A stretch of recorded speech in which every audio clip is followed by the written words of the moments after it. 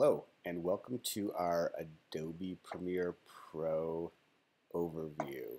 Um, I'm going to cover the kind of like a nice basic run through of everything you're going to need to know to get started and have a good foundational knowledge of Adobe Premiere. Uh, it is a deep program. There's a lot you can get into, but um, these are the topics we're going to cover. We're going to start with media management because this is a crucial thing. Before you even open Premiere, you need to make sure your media is organized and in a secure place.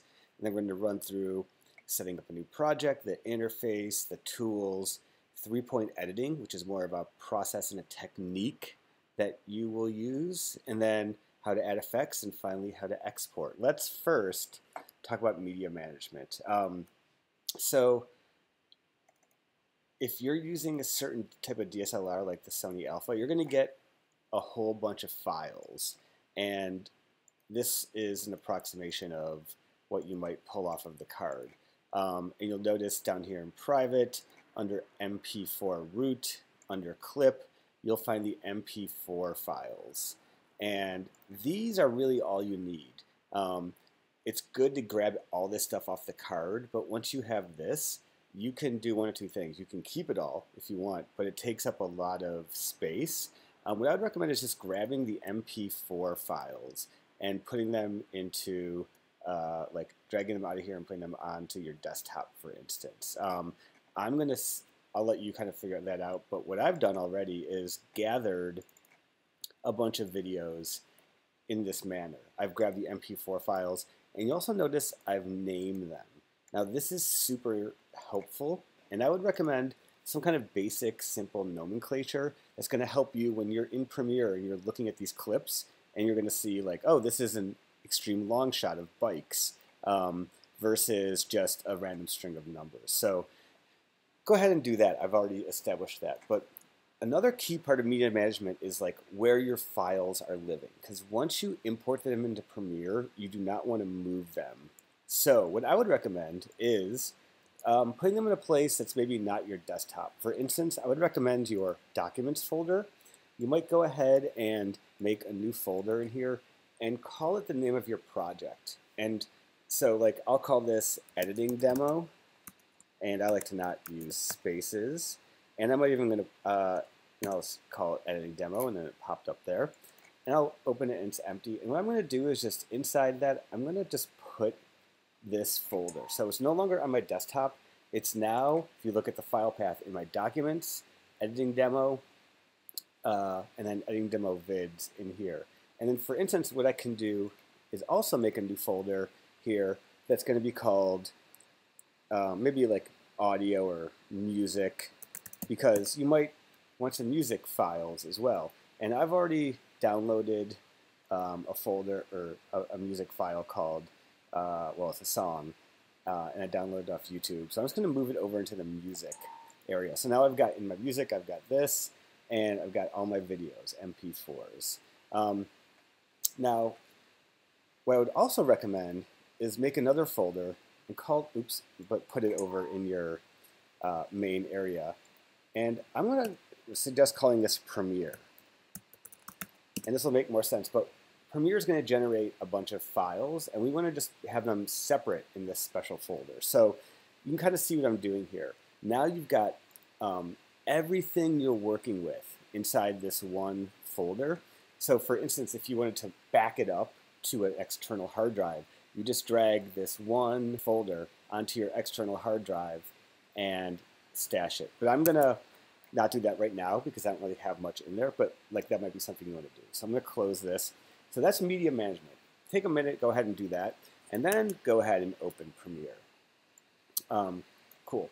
So when you open Premiere for the first time, uh, you have a few options. You can open up, you can kind of keep working on a project you've got, or you can make a new project. So we're going to make a new project. So go ahead and click that. This is one of the habits you should get in. Okay, when you get a new project going, you want to give it a name. So let's call this like visual continuity project, or if you, your project has a name. Again, I'm going to call mine demo, editing demo, because I, uh, you know, I'm not making a visual continuity project. And then another thing I want to kind of point out here is location. This is where you're saving that. And you'll notice mine is going to a uh, like this file path. And that's because the last time I used Premiere, I was working on a project and this was the file path. So it defaults to what you used last time. So let's hit browse. And now this is where we're going to go and find the folder that we just made. So mine's called editing demo. It's in the documents. And this is where I'm going to put my Premiere folder into use. And I'm going to choose that. And now all the files I generate using Premiere are going into that specific folder. So that way you're going to have um, everything kind of organized nice and neat. And I know this is boring, but um, it's super important. And uh, this stuff really shouldn't have to be changed by you, but one thing to check is the scratch disks tab, and these should all say same as project, and they do. Um, and what we're doing right now is called setting our scratch disks. It's just a fancy way to say where are you saving things in Premiere. So once we've done that, Premiere opens up. And let me just fix something real quick. Uh, right now I'm at, uh, working on um, a setup with two monitors, and so I have that saved. But I'm going to go back and just change my window, my workspace layout to editing. And this is probably what yours is going to look like. This is a good default workspace editing. But you'll notice you can change these, uh, and that's what these are up here. If you wanted to like have a slightly different um, layout, you can select those up here. But I'm going to say stick with editing. That's a really kind of good one to work with. So we've opened Premiere, we've given it a name, and we've saved it, and now it's open. So the first thing we want to do is we want to import our media because what Premiere is going to do is it's going to work with the files we tell it to, right? And so Command I or File Import is how you import media. Some people like to drag and drop things, move it around, but I'm a kind of advocate for this sort of um, not engaging in drag and drop actions with Premiere. Just sometimes it's a little bit easier. So let's go ahead and import our footage first. And now this is where our nice organized media management comes into play. So I'm going to find the editing demo. And what do I want to import? I want to import the videos and the music. I do not want to import my Premiere file because that's redundant. I'm in Premiere already. So I'm just going to hit Shift and select both of these things and then press Import. One benefit to having my stuff organized before I import it is you can see it's already in folders, and this might come in handy. Things are a little bit nice and neat. So, all right. So before we start working, I just want to point out the basic layout here of Premiere. Uh, there's four kind of main windows, and you'll see that um, inside each window, sometimes there's multiple tabs here. Um, so this is what you might call your source window, and this is where your clips like if you want to preview a clip, you would pull it up there. So if I, for instance, open this ELS shot, this is just preview. Sorry, this is uh, the audio scrubbing. Um, but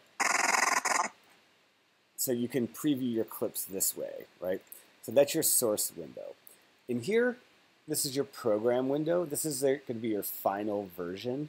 Um, but right now it's empty because I'm not working on anything. Down here is our timeline.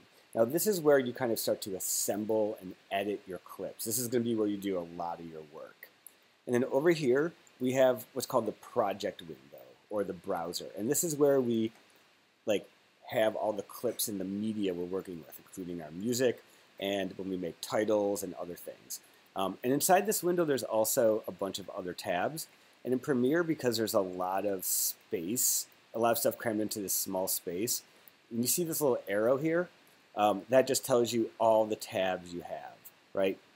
And I really don't use my media browser tab, so if I right click on this, I can close this panel because I don't need it, and now it's gone. I'm also going to just do that with my libraries because really the main thing I'm going to be using here is my effects and my project like bin, if you will. Um, everything else I can just leave. So there we have it. We've imported our clips, and there they are. Uh, the next thing we want to do is we want to set up a sequence inside of our timeline. The timeline is the window, and you'll notice it says drop media here to create a sequence. Before we get to that, I just want to show you the kind of professional, maybe productive way to start a sequence, to make a new sequence. And if you go up here under File, New, Sequence, or Command N, this is going to set up some uh, settings for us in our timeline. And this is going to be like a thing we do every time we start a new project. But within a project, you can have multiple sequences. And I'll show you what I mean. But first, let's make our first sequence. This window. It's a little intimidating, um, and that's okay. But basically, you may have heard of codecs. Um, those are compression, decompression standards that every kind of media file has. And with video, codecs are really important. So what we want to do is choose the file format or codec that we're working with. If you shot with a Sony Alpha, um, you may remember this string of random letters, AVCHD. That is the file format that the Sony Alpha uses. So if I twirl this down, I can find a bunch of options. So this is where like knowing that the file format you shot with, um, having that handy is going to be really helpful. So I know that I shot with 1080p, which is full HD, and I also know that I shot with 30 frames per second. You may not remember this, and that's fine. Um, if you want, you can go to your, uh, you can go look at your clips, for instance, and um, if I look at my documents and I find editing demo and I look at my videos, if I open one up in QuickTime and I go to File, no, sorry, View, no, Window, sorry, Show Movie Inspector or Command I, which is how I know it, it gives you this information and it tells you that you've shot with 30 frames per second and this is your uh, 1920 by 1080 like video setting. So that's just something to keep in mind. I'm going to close that, but um, I know that I shot with 30 frames per second, so I'm going to choose that. And I'm going to name this uh, kind of like uh, you can leave it at sequence one, but like my movie might be good. Um, if you shot with a different type of camera, uh, there's a few options, but digital SLR is always an interesting one. Um, same thing, same principles apply. Knowing what uh, resolution you shot at and then what frame rate is really helpful.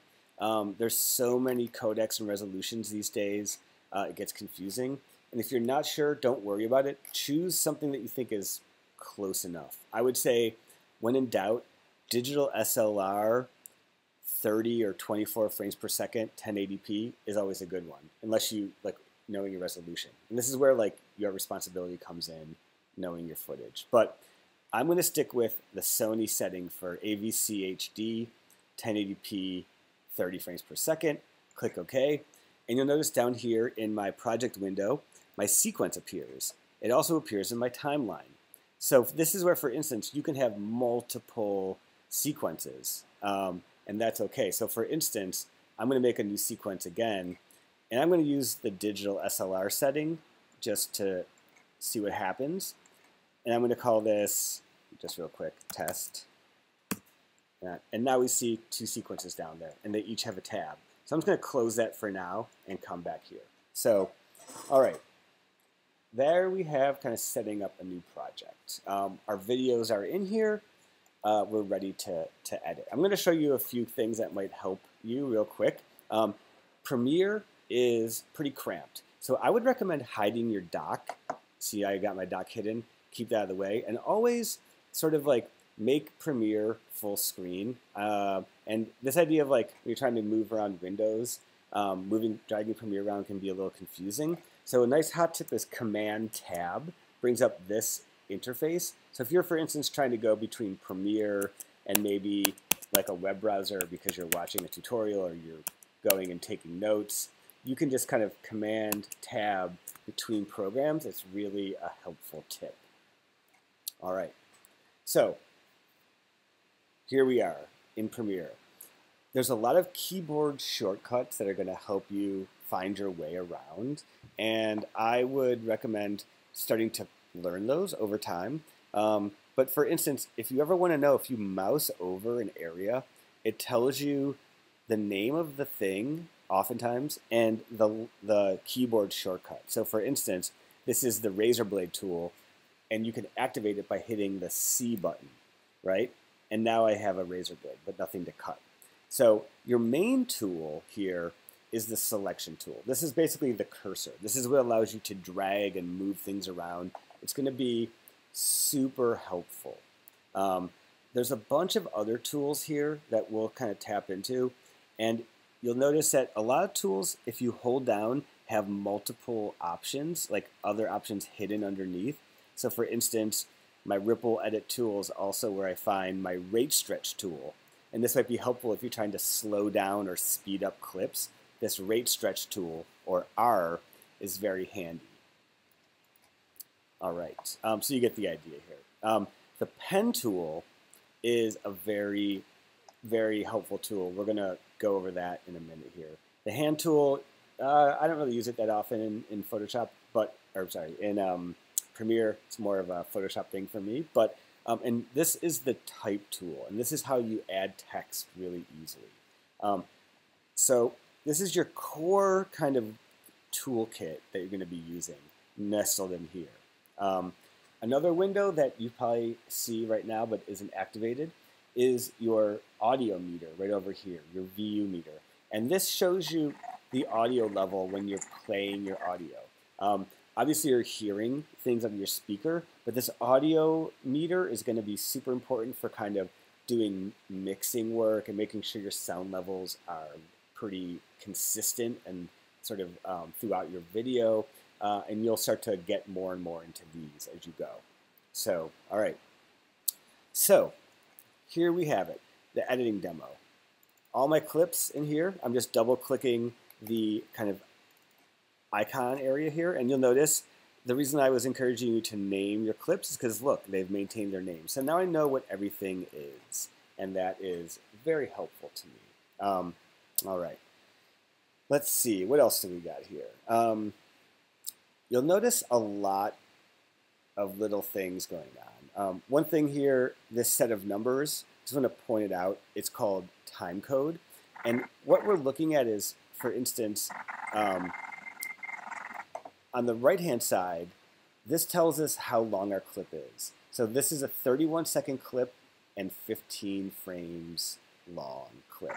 And for every clip you click, you kind of have that information here. All right. Um, so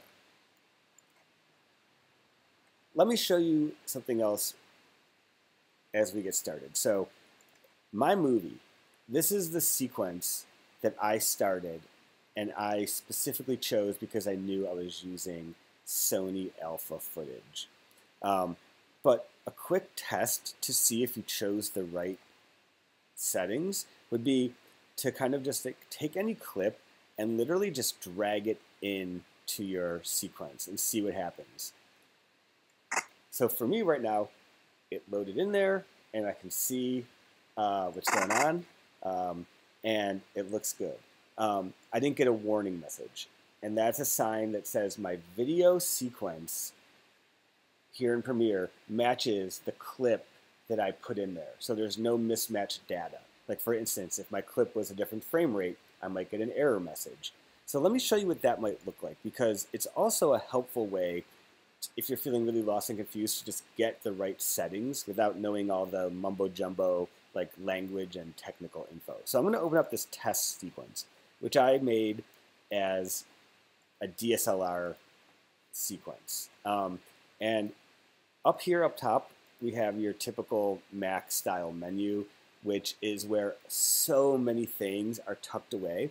And just kind of knowing the sort of like logic of Premiere is going to be very helpful. So, for instance, the file menu heading has a lot of important things, such as making new uh, sequences, finding like adding black video, um, adding color, things like like a color matte, just like a solid color, things like that. Um, a lot of information's up here. But another important part up here is sequence. And under sequence settings, if I click this button, it basically shows me all the info that I can't tell just by looking at Premiere's interface. This tells me the editing mode, so it's a DSLR. It tells me the time frame, time base, like 30 frames per second. It shows me how my how what the the as, pixel aspect ratio is, so full HD shows me the aspect ratio. It shows me a lot of things that maybe don't make much sense to us right now. But so if you're ever kind of wondering like, oh, what what did I set my sequence settings to? This is one way to tell. So this is the DSLR sequence, which is going to be different than the clips I'm using. Now watch what happens when I take a clip and I just drop it in here. Oh, I didn't get the message, the error message. Um, and maybe that's because it's close enough. Um, let me try something real quick. Let's make a new sequence. I'm trying to do it wrong and choose. Let me just choose like like something totally wrong. Let's say you go into this Canon XF MPEG 2 um, and you're choosing like a sequence or accidentally, uh, and I'll call this test 02, and I'll open that up. Um, now when I drag a clip in there, I get this. This is what I wanted. Clip mismatch warning. So this is a warning saying, this clip does not match the sequence settings. Should I change the sequence to match the clip? And this can be a really helpful thing where, yes, let's change the sequence to match the clip because that's always the goal. You want to have your sequence and your clips match. All right? So that can be a good thing. So keep that in mind. So I'm just going to close that. I'm actually going to delete it because I don't even want that. And I just, to delete something in Premiere, you just click and delete, hit the delete button, and that's it. I'm also going to delete this other test one. So now the only sequence left is my My Movie one. And I'm just going to um, come over here to my Move Selection tool, V, and I'm just going to select that and delete it because I don't want that in there. All right, so I want to talk about, now that you've got Premiere set up, your sequence settings should be matching your clip settings, you're ready to start editing. Um, and I want to stress how important that first part is, this media management and technical like correctness. um, because it will cause you problems down the road if you're like about to export your movie and you realize you're working in the wrong sequence settings. That can be quite a problem. Um, but now that we've got our proper sequence settings and we kind of know our basic tools here, let's start the process of editing. So in my sequence here, this, this thing that, that I'm kind of dragging around, this is called the playhead. And this is, if I kind of zoom in um, by dragging this or zoom out, it shows me frame by frame accuracy what image I'm at, right? And you can kind of zoom in and zoom out of the sequence. You can see the time code. Like now I'm like one, two, three, four, five frames, right? That's uh, super zoomed in. And here we're zooming out. And it's going to go back to the beginning. Um, and you'll notice defaulting your sequence, your timeline is going to have three video tracks and six audio tracks. And that's the reason for that is because um, it's seldom to just simply use one track. When we start editing, you'll see what I mean. But usually, when you're editing audio, um, each video clip is going to have potentially two audio tracks, a stereo set. One is going to be the left and one is going to be the right. So um, we're just going to make sure that we're kind of knowing what's up here. And inside the sequence settings, uh, or sorry, inside your sequence, there's these little buttons up here, which we will come back to um, in a minute. But uh, these are important to know what they do down the road. We'll talk more about them when we have some video in there. But first, let's begin the process of editing. So let's say you have your storyboard and you know exactly what shot you want to start with. And for me, I'm trying to remember what footage I have here that's good. I got some geese here, a little bit of awkward shot. Um, I like to always just kind of open the, my clips in Premiere and kind of cruise around and see what I've got. These geese on the lawn I like. Um, here I have a pan down. That's a really nice shot. Um, got a selfie shadow, and I've got the Richard Serra sculpture. So very seldom when you're editing do you just bring in the whole clip to your timeline, right? You can probably see why that would be a problem. Like it's gonna be hard to start stitching together and cutting this together when everything's kind of kind of crammed in here. So I'm just gonna delete that. And the way we want to think about editing is what's called three-point editing.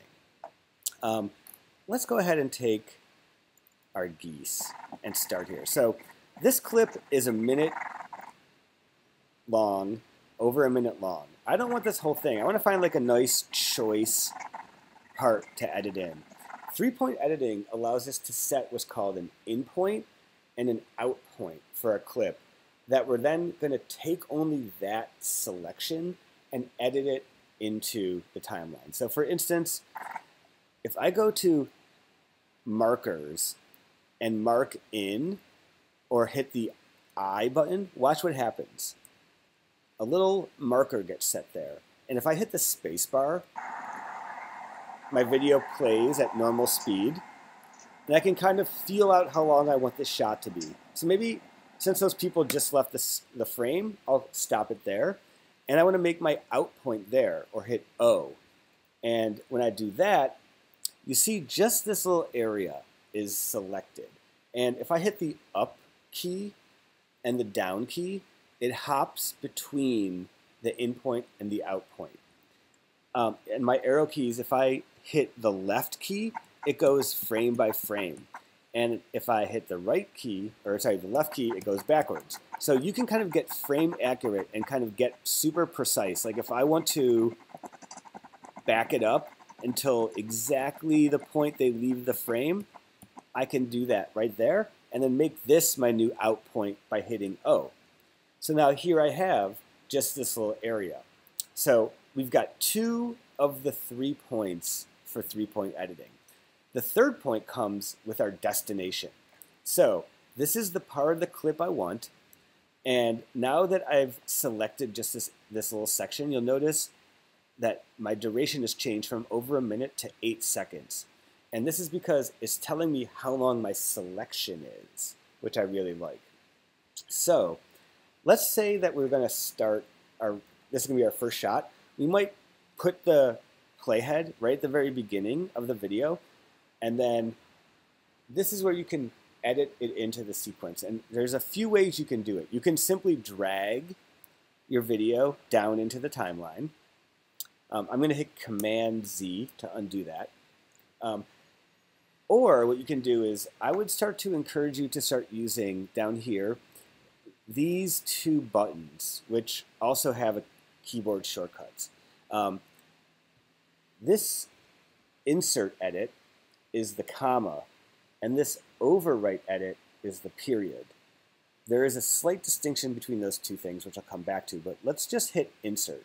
If I hit this button, it drops the audio and the video down to my sequence.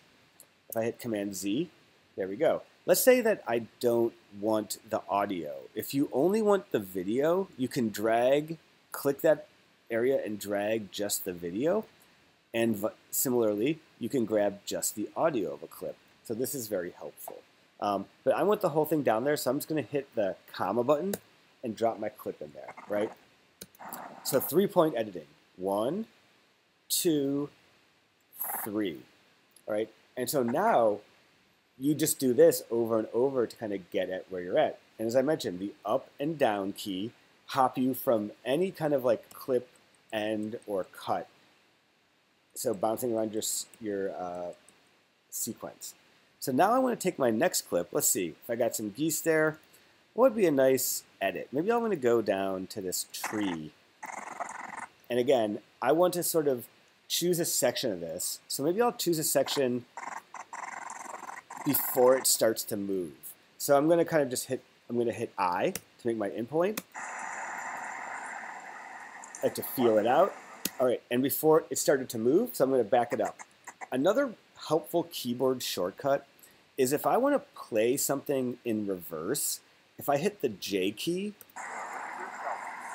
it plays backwards. If I hit the L key, it plays forward. If I hit the K key, it's the stop. So J, K, L is a pretty handy trio of keyboard commands you might start to use. Also helpful is let's say you want to like, sometimes you just scrub through your video just to kind of see what you got. Let's say you want to play your video, but you want to see what it looks like if it's moving twice as fast. If you hit L, that plays your video. If you hit L again, it plays it faster. If you hit L again, it plays it even more fast. So every time you hit L, your video plays extra fast. So you can kind of cruise around and see what you've got. Um, you might start to like use only keyboard shortcuts to hop around your timeline, and that's totally cool. So I'm just going to drag my playhead and just find the area before the camera starts to move. And again, I'm going to come over here and hit my insert key. Now, you'll notice when I did that, the video went to video track one. But if I move this little blue area on the left, it's called our target track. If I move that to video two, and if I move this to audio two, watch what happens when I hit insert. Drops the video onto that track. So this can be something you start to use as you get more sophisticated with your editing. Um, I'm going to zoom in a little bit here just to show you what we got going on. So again, my up key hops me through. And so now I can kind of have a, a spatial representation of what I've got going on. My first shot is eight seconds. My next shot is about two. And so I'm just going to hit mute and so I don't have that noise. So I can kind of see what my edit's about to look like. And then we go, it stops at black. So I'm going to add one more shot. Maybe we want to have uh,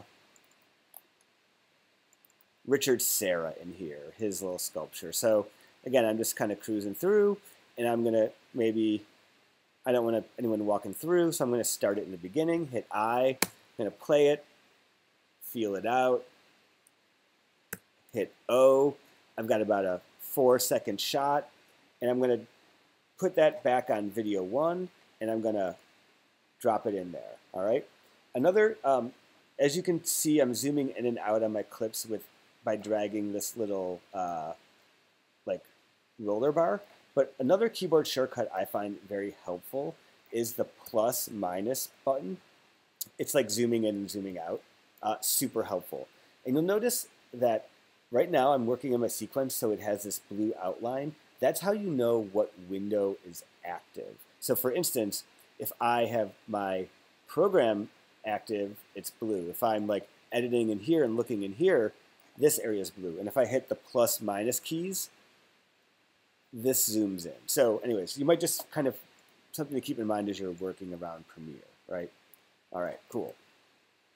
So three-point editing, super kind of basic, super uh, foundational, but super important, right?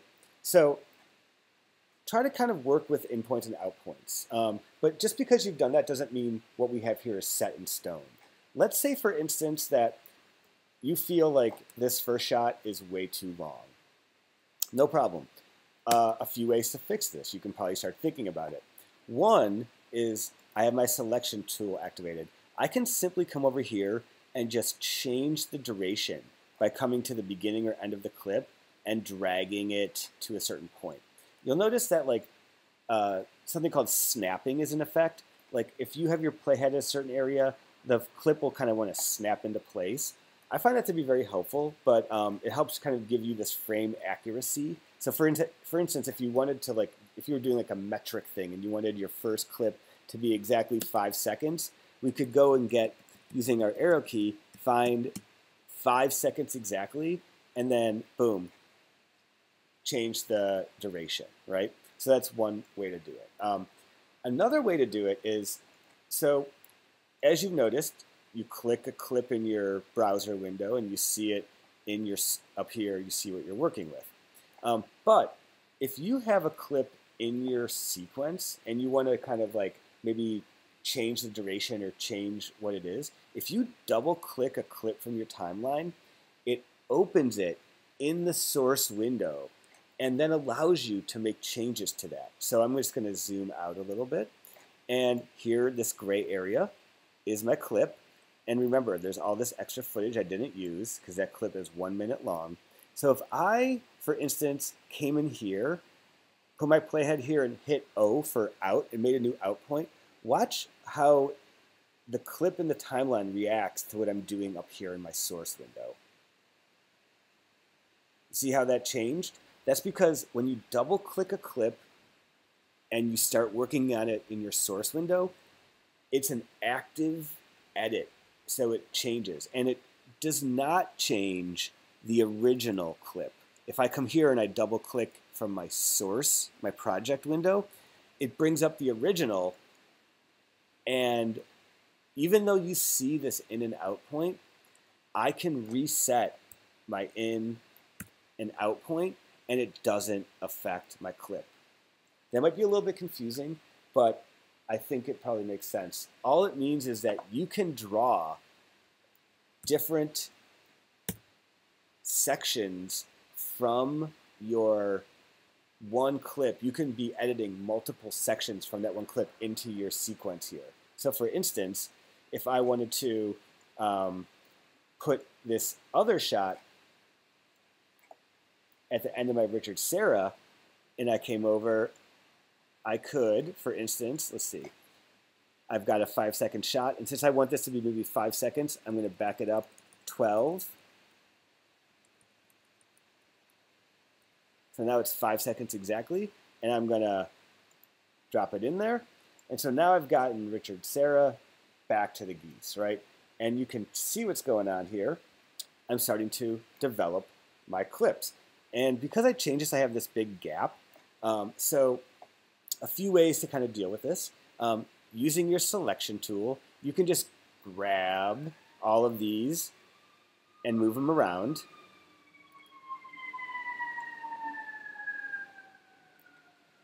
Or another kind of helpful tool I want to share is the track select key. So you'll notice you hold it down and you've got track select forward and track select backwards. So since I want to move a bunch of footage that's all downstream or looking forward, if I select that clip, I now have this double arrow kind of selection. And basically, anywhere to the right of where I click is selected. So this is really helpful for like moving chunks of media in your timeline to kind of like buttress them uh, back into place. If I hold the shift button down, it makes it a single arrow and it only selects the one track that I'm selecting. So since I want to have all of these, and I'm going to buttress this here, I'm just going to select it all, move it back, and now I've got my edit kind of happening. All right, looking great. But I'm going to go back and go back to my move tool because I always like to have that on default so I don't make any mistakes. All right, three-point editing with some basic tools. Um, let me show you the, the razor blade tool real quick, as you may have guessed. If you wanted to, another way to like shorten a clip, if you wanted to like cut a clip up, let's say you wanted to like remove uh, like a sort of like every other like half second or something. If you want to kind of do some kind of flicker film, for instance, you could come in here and cut up the clip and then use, go back to your move tool and start to just delete these spaces.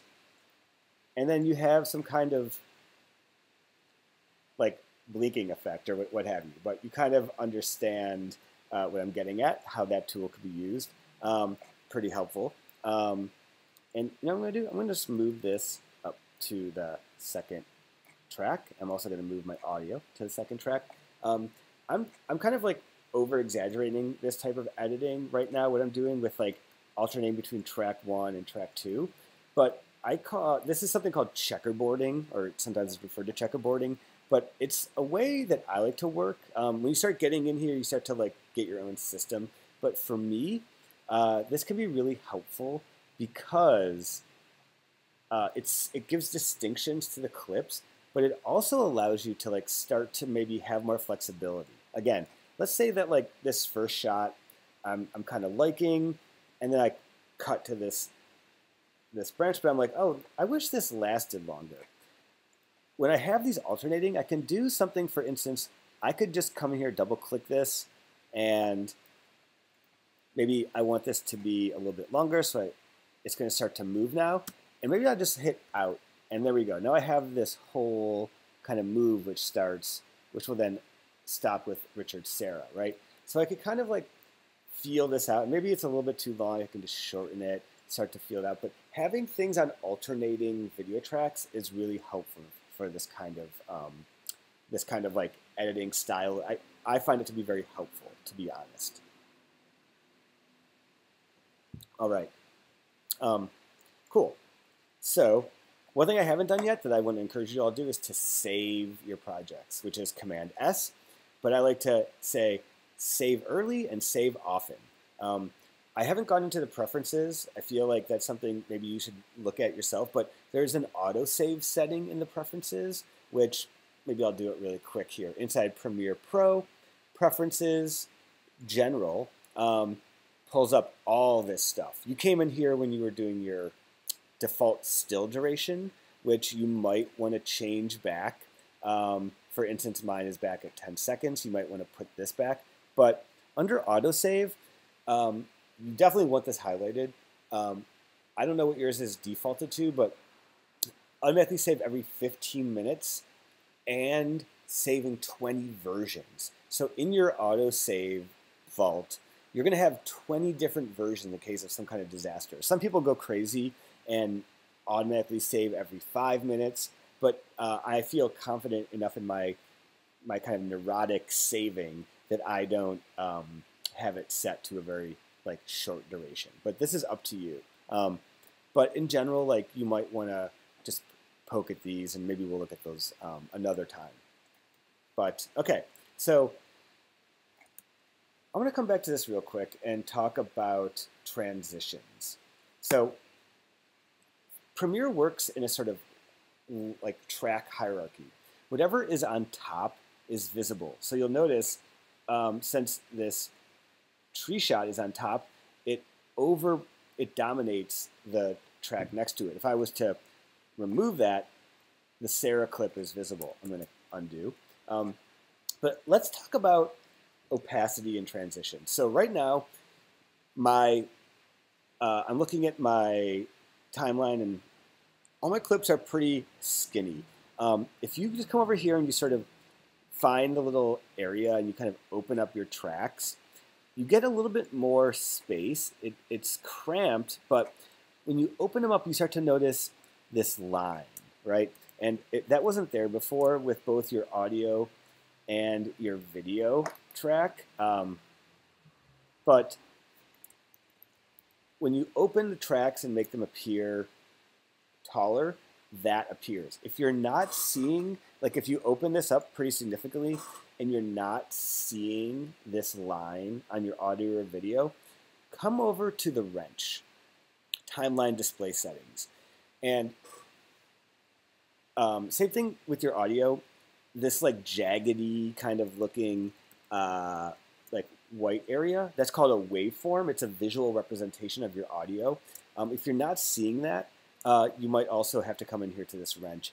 But basically what you want um, to see in this case is the audio waveform and audio keyframes. Um, you want those visible.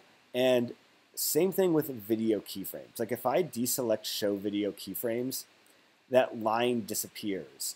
And that's bad. I'll show you why in a minute. So have that line visible. Again, it's not visible if your track is a certain height. It's a little confusing, but that is that. So another tool I want to point out that I love is the pen tool. So um, the pen tool has a few other things underneath it, but we're interested in the pen tool. Um, I'm going to zoom in a little bit. The pen tool is how we make keyframes. And in this case, because I'm looking at my video and my audio, um, the keyframes we make are going to have to do with opacity and audio volume. So, for instance, you can hear someone talking over that a little bit, and also you have this hard cut. But if I wanted to do fade out my video and the audio at the same time, I have to come in here with my pen tool and using the playhead as a guide, um, you just click on that wireframe to make a keyframe. And it's kind of, think of it as like a pivot point or a joint. So what I'm going to do is I'm going to fade out the video by making two keyframes. That's the first one where the fade will begin. And the second one is where the fade will end. And I can move, once I've made the keyframe, I can move it around. I can have it be a really short fade out. Or I can have it be a really long, slow fade out. And that's why I like the pen tool because it gives you this kind of control, right? Um, you'll notice that under, uh, well, there are a bunch of default transitions, which we'll get to in a minute, but um, I love this pen tool, it gives you more control. So that's something you might want to do. And, but be careful because if you want to move, for instance, let's say that the volume here is too soft. You, you want to up the whole volume. You don't need to use the pen tool. You can just use the arrow tool and just raise the volume to a, a level that's desirable. This is going to be very loud. And you can see how it peaked, so I would not want it to be that high. Um, but yeah, so you can move, you can change the opacity without the pen tool, but the pen tool allows you to animate it and have it kind of like come in and out. So again, if I wanted, as I have a blink here, a hard blink, if I wanted it to end in a soft blink, I could zoom in really close and using my pen tool every few frames, just make a bunch of keyframes and then come down here and you can kind of tell what I'm doing here and have it be like more of a flicker, right?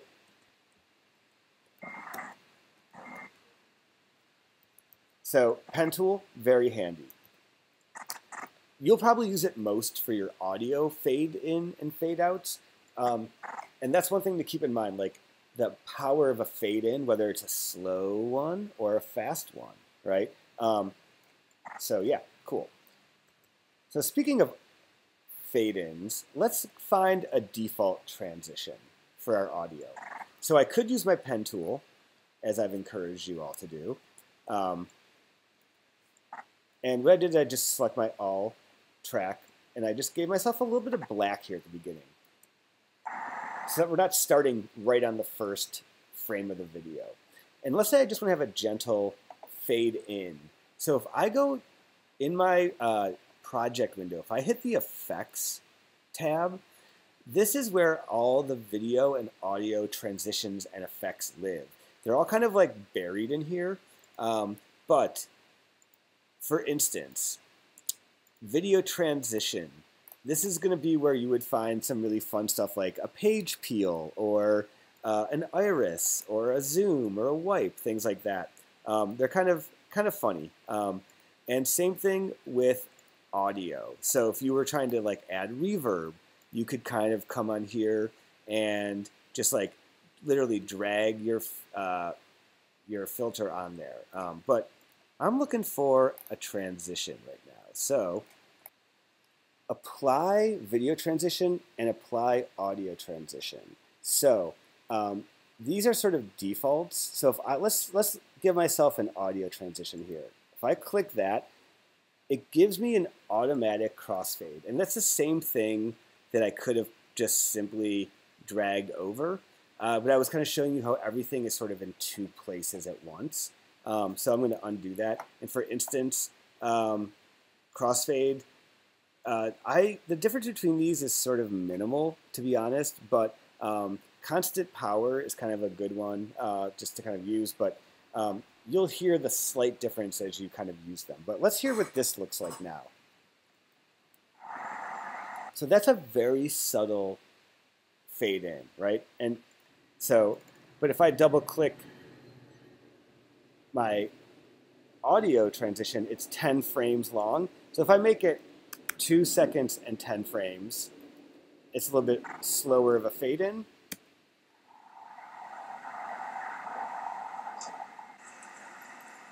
And there we go. Okay.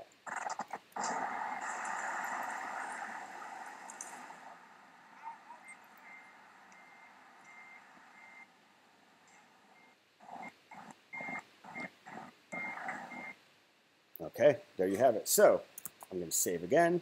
So here we are, we're editing, we're, we're making our dope video. Um, everything is looking pretty good so far. Um, but there's a few other things. See, when I edited this little flickery zone, it also cut out my audio. So what I want ideally is that audio to kind of remain, but you'll notice the audio and the video are what's called linked. And so let me show you how to unlink audio and video. If you highlight a clip and you control click or right click, you get this whole menu going on. And this is a lot of other things we're going to get into during the semester. But what's one important thing to point out is the unlink you're going to be doing this a lot. Normally, you want your audio and your video linked or synced up, but sometimes you want to just, you know, separate them and do some kind of editing like this. So if, I click unlink, now when I click the audio, it does its own thing, and when I click the video, it does its own thing, and that's great. Whereas all these, for instance, are still linked together. So I could select them all and then right click and unlink them all together and delete them and then just stretch this out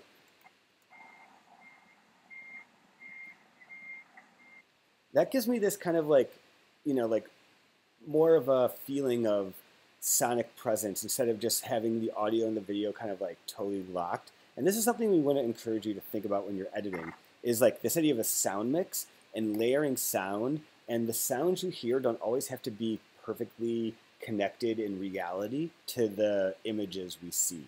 And so that's why, like, you, when you're on set, people talk about recording room tone and just recording the sound of nature because people will take those and put them in, like, drop them in down here as like a sound bed as you're editing. So very helpful.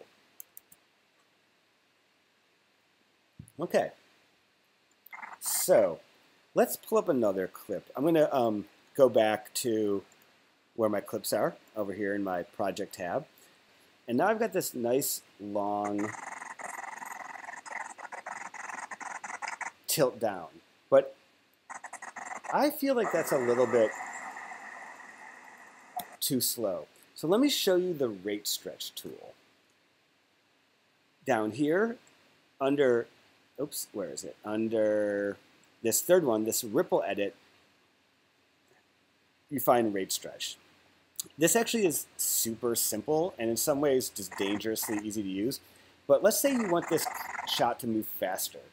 You just would come here and once you've got your shot, you just crunch it and squeeze it. And basically what happens is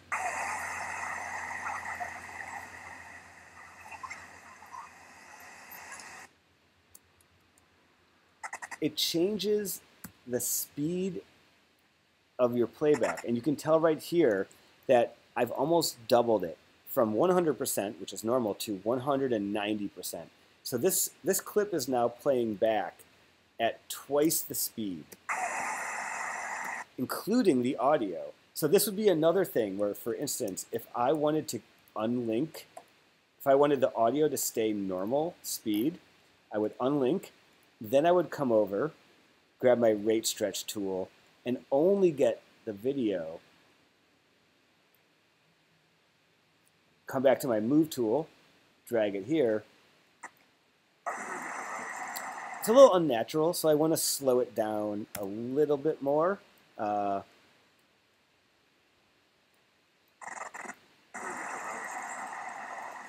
but you'll see how the audio playing at normal speed gives it the illusion that it's like not super sped up. So, all right, I'm just going to come over here and shorten my audio. So I've got that. And actually, you know what? I'm not going to do that. I'm going to leave it here. So right now my video ends when my audio keeps going. And now this is where I want to insert a shot in and show you the difference between insert and overwrite. So for instance, let's just take maybe so we can the shot where we can kind of see the camera. And there we have about a two second shot. So let's say I want to drop that shot right in the middle of this shot. Now I have two options. I can either do an insert, which is going to drop the shot in here and push the original shot, the palm, the pan down, over so we don't lose any footage. Versus an overwrite is just going to dump it right on top and it will overwrite or block all the footage so we'll lose part of that clip, the pan, the pan down. So let me show you what I would do. I would say, I would come over here and lock my audio.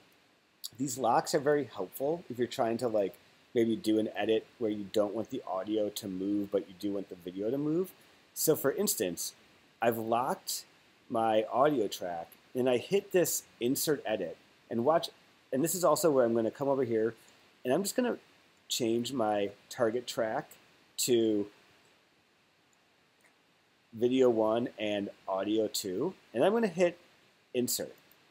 And you'll see what happened. See how it inserted that right into the middle of this shot? So let's see how that looks.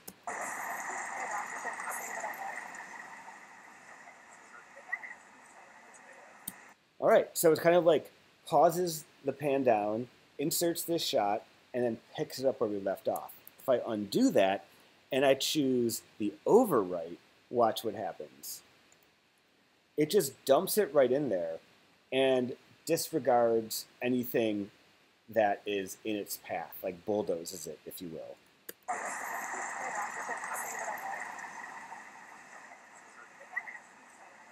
So I kind of like that. I might just bump it over so it's a little bit more centered here, but there you have it. So the difference between insert and overwrite. Super uh, important to know the difference, but also to use them in a way that benefits you, right? So, okay. All right, so I just saved. So we have now covered three-point editing, um, a few of the many tools that you have that I think are super important. Um, We've covered uh, like the very basic of transitions with the pen tool. I do just want to kind of point out some of these like little things. I'm assuming you're all familiar with like an eyeball, for example. The eyeball means is a track visible or not.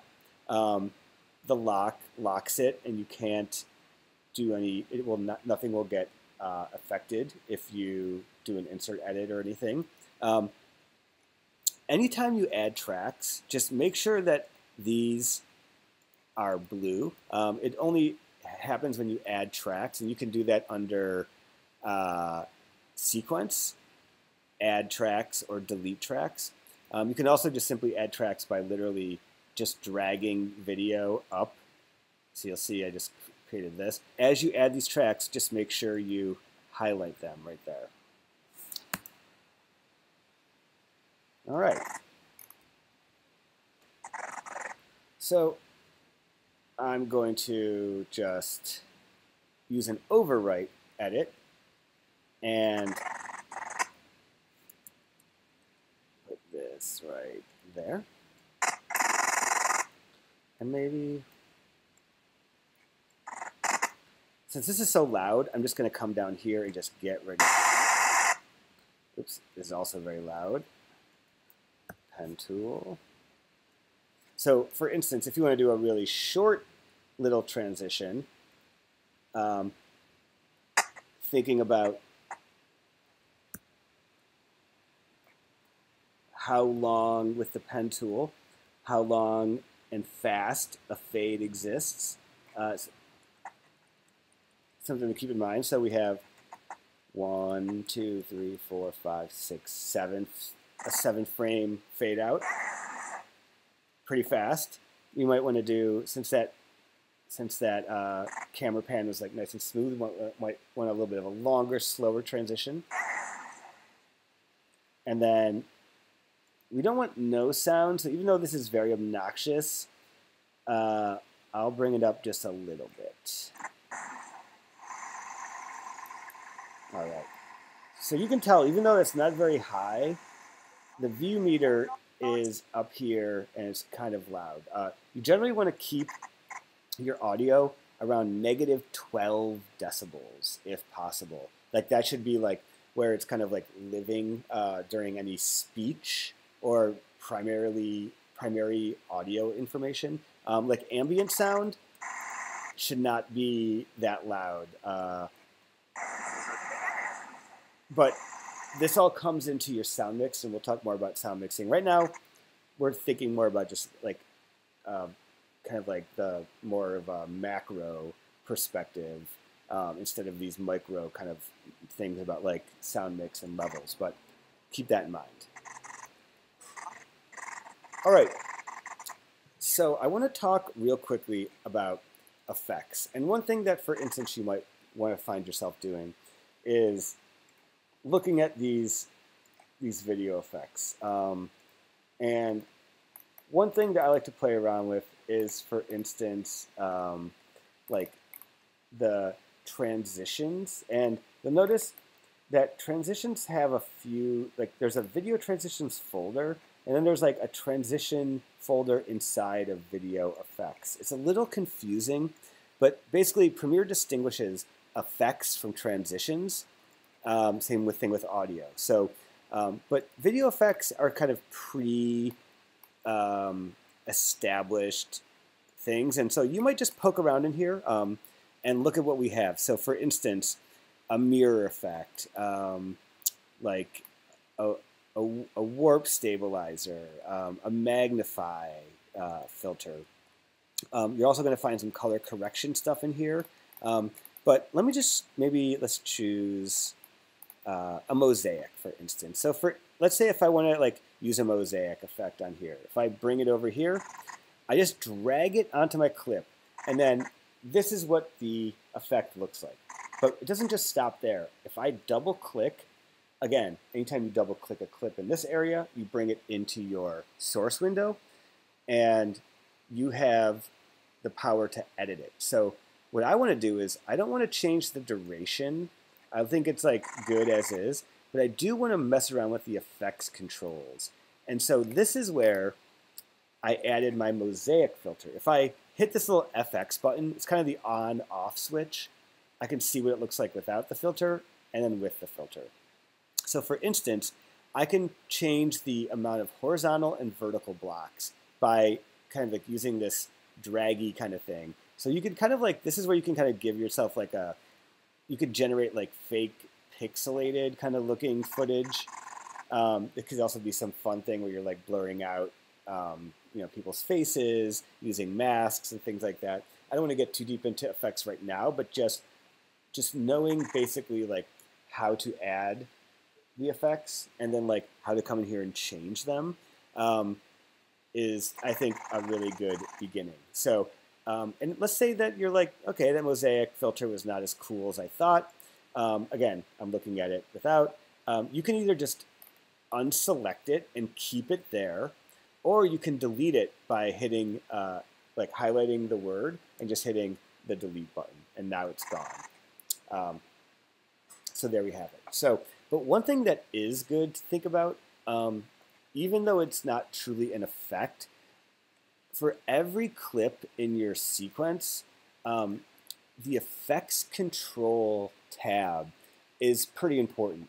You probably aren't going to come in here like every time, but you'll notice the default motion effects, opacity, and time remapping are up here.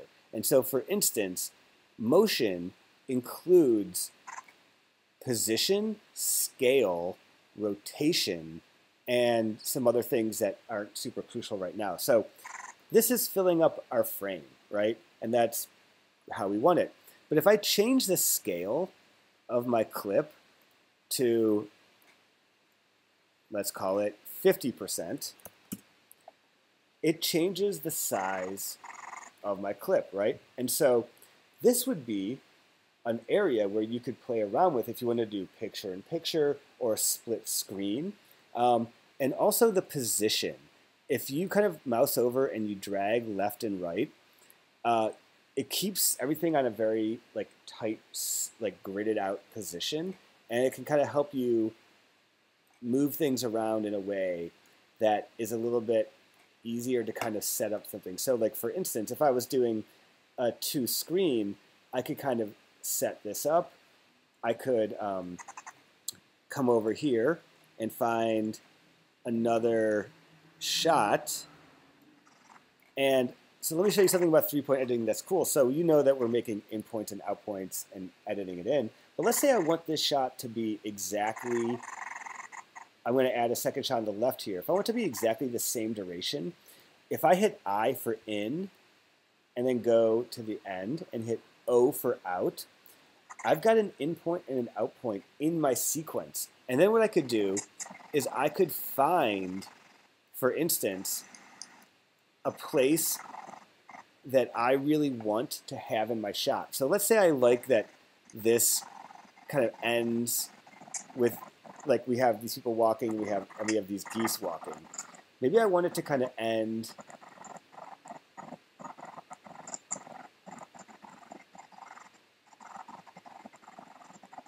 here. If I make this my out point, and then I go here and I do a, I've made V3 my target, and I'm going to make audio 3 my target so that I'm not overwriting anything, and I just do overwrite, it now adds this footage exactly to my to my likings, and now I can double click this clip of the geese, go to effects controls. I know it, it needs to be 50% scale, and now I just need to move the position over, and I've got a pretty good picture in picture, but I can tell um, by looking, I'm going to zoom in, but I can tell it's not perfect. So in your window here, you have this little fit button. That's probably where it starts. If you, this is your kind of like zoom in or out view. It doesn't affect what you're seeing on screen. It's just a view mode. So it's like for me, I'm zooming in to like 100 so I can get this really precise. And I'm coming over here and I'm going to just position this exactly to match the other one. So that's my position. I'm going to put this back to fit, and now I can see my full frame. So if I go to, for instance, 25%, uh, like if I had things hanging off, I could kind of see them here. So fit is good. This area where it says full, this is your playback resolution. If your video, if your computer seems like it's lagging and your video is playing back choppy, you can reduce your playback resolution to like half resolution and it will play back a little smoother. It will look less quality, but it doesn't impact your actual quality. All right, so there we have it. So we've just added this cool split screen. Um, but you know what? I don't really like, I actually, I feel like these two things need to be on the other side. So I'm just going to come over here and I'm just going to, oops, going to swap them out.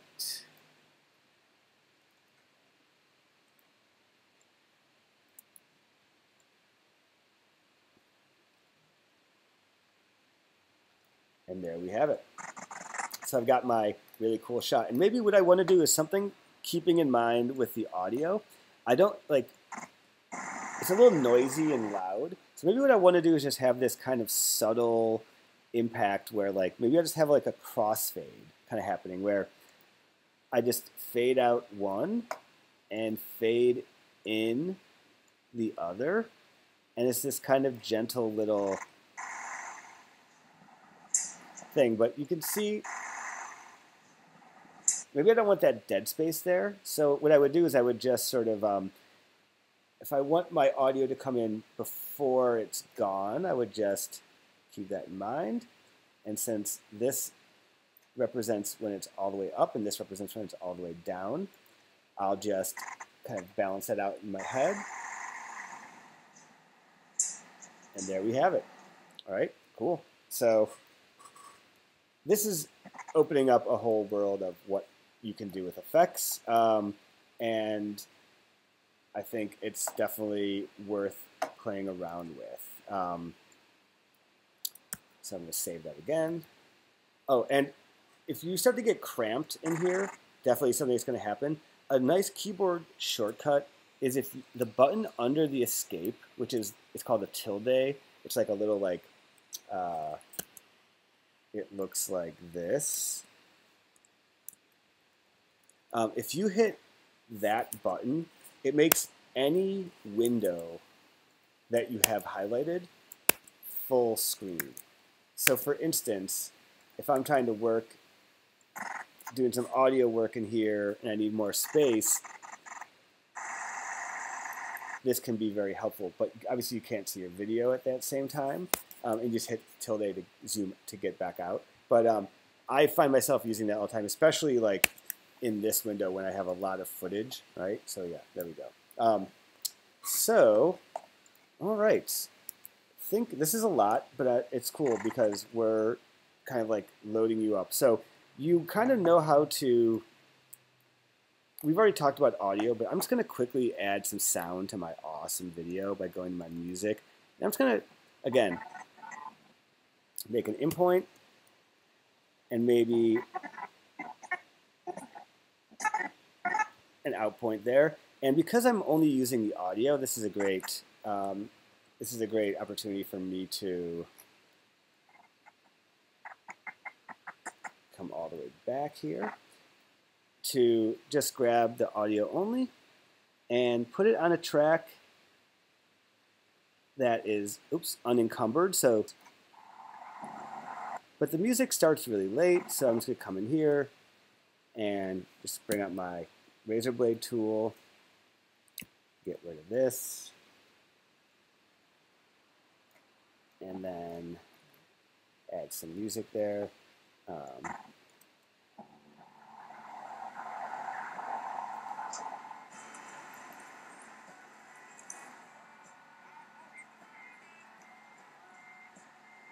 And I think this needs more fades. So I'm just going to kind of go in, and this would be something that you know you would start to think about. But I'm just going to kind of come there. And this is another reason doing the three-point editing is key because it gives you what you might call these handles. So like you're not starting your shot with the very first frame you recorded. You have all this extra footage that you can then kind of incorporate and use for transitions. Um, I think that that's super important. And so using these waveforms is like very helpful. And let's say I was about to edit something and I wanted to sort of like make a move right when she started, uh, this is Karen Dalton, when she started singing. So I would come in here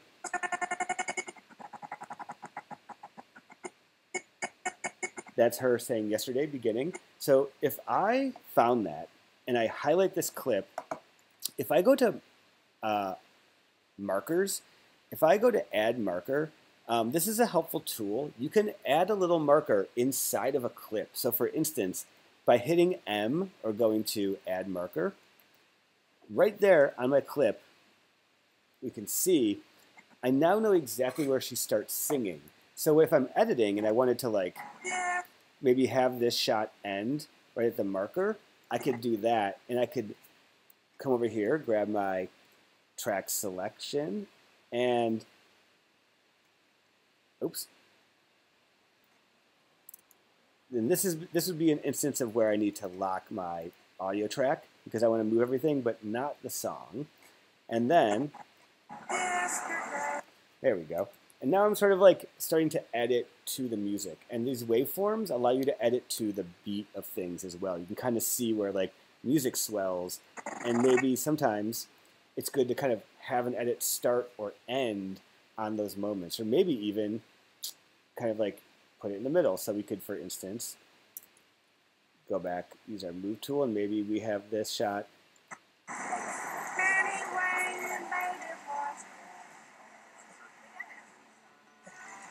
But you get the idea, right? So this is not going to be a masterpiece. I'm not even going to try.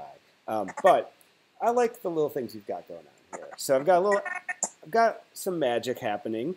Um, my audio is running a lot longer than the rest of my track, and that's something I would not want to kind of leave lingering when I was getting ready to finish up. Um, so I would either come and fade it out or chop it. But real quick, let's just talk about the text tool or the uh, type tool, as they call it, because you definitely want to think about titles and credits. So um, with Premiere, it's actually kind of super easy these days. Um, you can put text over images or over space in your timeline where there's media. So if I came over here and just click on the screen as I did, it generates a piece of video that is in my timeline that's called graphic. But when I double click it uh, and I'm in the text tool, I should, under effects, for instance, just like I can affect the uh, other video clips, there is, under effects control, text information here. And this is where you choose your font. It starts you off with a really no good font. Um, let's try Gill Sans, why not? And this is the text where I would uh, type my dreams. What do I want to say? Um, let's call this, wow, what a movie. And then I could even come down here and say, by Eric Fleischauer. Um, and I could get a little bit fancy with this. I could, you know, just like any other thing, you gotta highlight the text, and maybe I want to be semi-bold, because I'm a semi-bold kind of person. Just joking.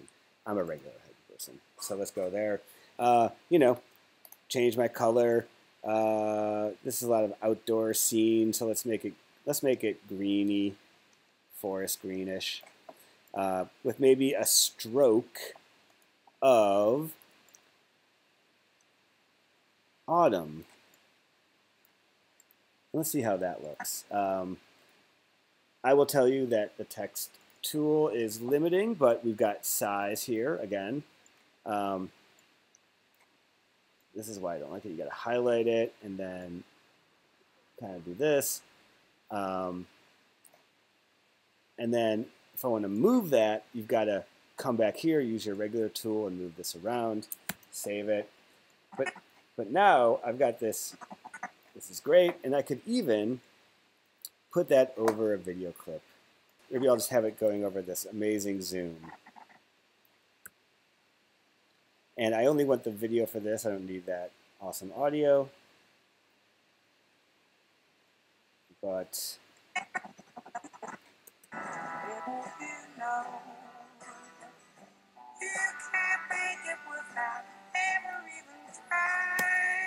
Wow, what an amazing thing. So, and then I would kind of just decide how I want this movie to end. Oh yeah, that's really great. Um, amazing. Kind of fade this out slowly. And you know what I'm going to do? I'm going to fade this out. because why not? Sure. Let's bring that down. Oh, one thing I didn't mention is how to, let's say you've uh, made an extra, made like an extra keyframe here. If you right click, you can delete it that way um, by right clicking. Uh, you can also get into like Bezier curves and things like that. Uh, you can do ease in, ease out. We'll talk more about that later, but I encourage you to explore those. Um, I feel like this is a lot of information. Hopefully, you found it helpful. And I'm going to encourage you to always leave a little bit of black at the end of your video. So right now, this fades to black, and there's also this audio where nothing's happening.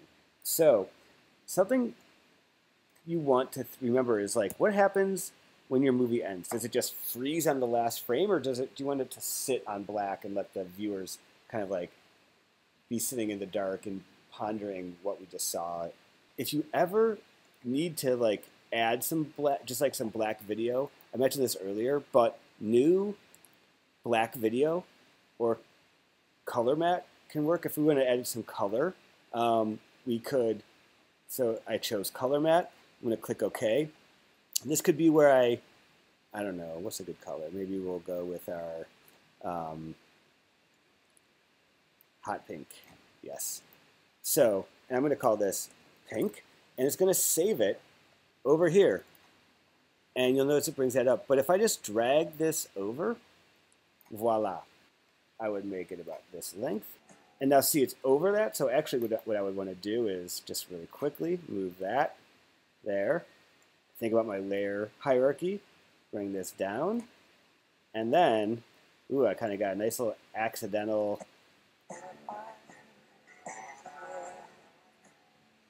Oh, wow, what a pink ending.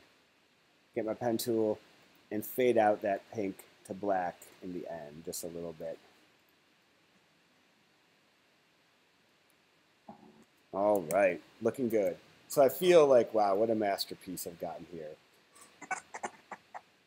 The last thing we need to do, you should watch this in real time and look for any like mistakes, listen, like watch your view meter. And then when you're satisfied, choose your selection tool. Make sure there's nothing selected in the timeline. And you also want to make sure there's no in and out points in your timeline. Um, because when you go to export, those things can cause you problems. So nothing selected, no in and out points. Go to File, Export, Media.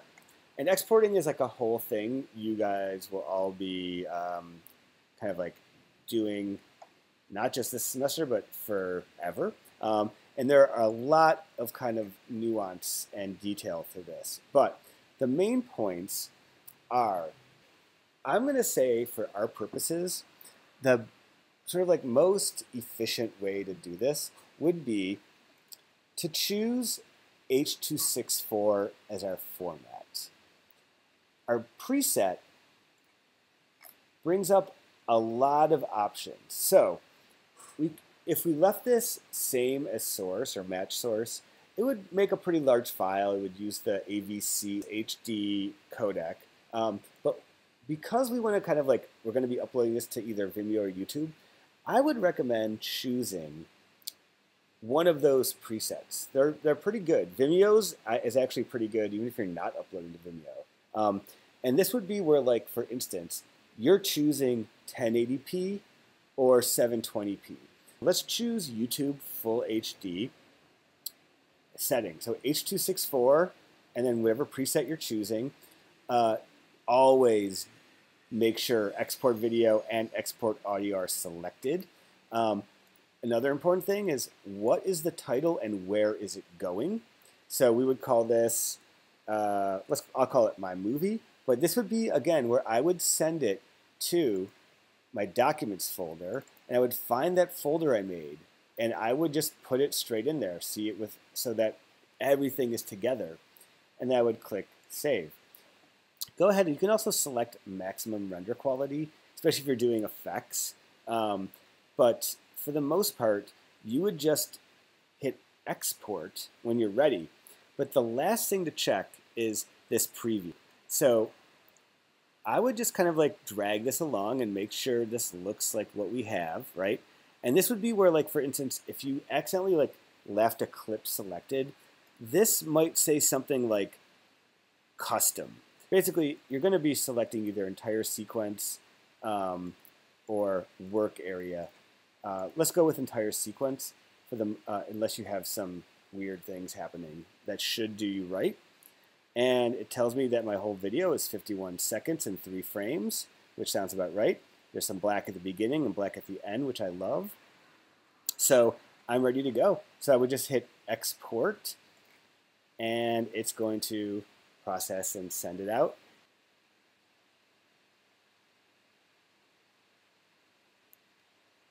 All right, so now if I go and hide Premiere and I open under Documents, Editing Demo, there's my movie. And voila, there it is. So you can tell it is 1920 by 1080 with H.264 codec. You might start to notice certain quality differences depending on what codecs you're using. And if something looks wrong when you export, definitely go back and check your settings. But this looks great. Good luck and enjoy. Have a great evening.